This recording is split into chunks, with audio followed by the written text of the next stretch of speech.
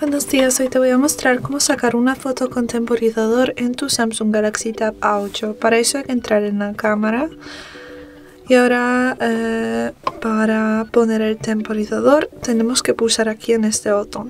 Este temporizador como puedes ver tiene tres opciones. Esas opciones quieren decir que la foto saldrá en 2, 5 o en 10 segundos desde el momento en que pulsemos. Vamos a elegir por ejemplo los dos. Ahora sacamos la foto, vemos una cuenta atrás y cuando llega a cero se saca la foto.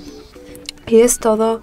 Muchas gracias por ver el video. Te invito a dejar un like, comentario y suscribirte a nuestro canal.